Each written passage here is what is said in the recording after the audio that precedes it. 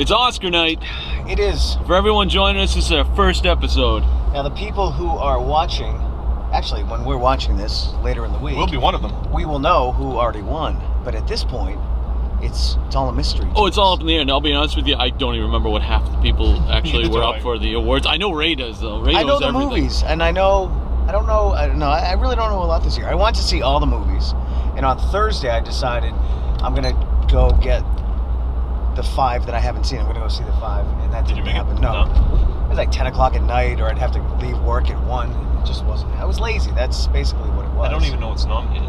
Well, you got uh, Philomena. Did not see it. You've got. Wait, uh, what was that first one? Philomena. Never even heard of it. Um, you've got it's about a woman whose uh, child was taken away from her when she was younger, and then she goes on a search to find him in the states, Should have never happened. along with a journalist. I think I saw a commercial It's like for a that. cute little, kitschy, uh, semi-comedy drama. It was like the Driving Miss Daisy type thing. Yeah, I I guess. Yeah. Um, what else? Gravity. Sandra. Bullock. Good, good movie. Not All I as gotta boring say- as the uh, previous Make It Up. It didn't look boring to me, but if I'm going up in space, if I don't have Bruce Willis, if I don't have a soundtrack by Aerosmith, I'm done. Don't worry about it. I'm You know, not you going got up there. Clooney, but you can just look in his eyes, and that's that's all you get from him. Are those Swooning? those beautiful eyes? Swooning. But, uh, this- yeah, you can swoon with Clooney, If, but if he you're gonna. swoons in space, does anybody hear him? swoon with the clune. um, and that that was his re- that was his character. He was a cool character, but all he did He's was always kinda, a cool character. But all he did was swoon. I'm in space. I'm lost in space. Where's Bruce Willis? Doug like Ross you in said. space. Um, there was the the American Hustle, which you saw, Jay. Did not see that's the only one I actually saw, and I was actually a little disappointed in it. all the characters, all the uh, the actors, the main actors were nominated for um, best actress, actor, and supporting. On And that's my roles. difference. I'll actually tell you right now is I actually thought that the acting was superb. Yep. I just thought the script was blah. Twelve Years a Slave. Did not see it. Nope. I did not see that either. I did hear about that one though. Uh, Captain Phillips. That one looked it. looked cool though. It looked super cool. It was good. It wasn't Oscar worthy. I didn't think the last ten minutes with Tom Hanks should have gotten him an Oscar nomination, but He's not did- nominated? that- No, and The taxi driver is though. the um The who? guy that the guy that played the the pilot. villain. The pirate. I was yeah. gonna say he was a taxi cat. He's a real, real life. That was what he was doing before Probably this not movie. now. No, not now. Uh, love but he was he was driving a taxi in Seattle. I didn't know I love the movie. Saw an Taxi incredible interview Driver. with him on. Uh, heard That's it on. not nominated this It year. should be. What was? Taxi Driver. It it was. Taxi driver one should be nominated every year. Um, I, I lost track of where I was. I don't know what else is nominated. How many movies? Oh, uh, Nebraska, which was a black and white. did not see it. Yeah, that was see pretty it. good. I It got it at home. I was just cute. eh. I mean, it was funny and a good road movie, I guess.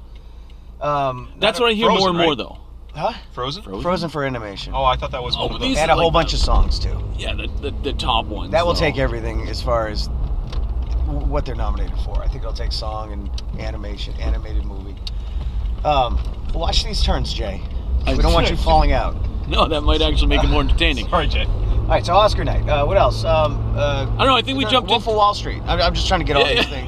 things because um, Did not see it. I didn't either, All right. But I heard it was good. I had a bunch of customers from my comic store that were actually in it, I or mean- at least one. Oh, really? I know at least This- one. He was in actually a lot of the Wolf uh, of major Wall scenes. Street? Yeah, a lot of the major scenes. He was just a uh, just a uh, extra, but he was uh, he was in a bunch of it. That's cool. He had, I think he had a speaking part, but uh, they actually cut it out. So because that's always the way it happens. Yeah. What are you um speaking since it's Oscar night? What are you wearing, Ray?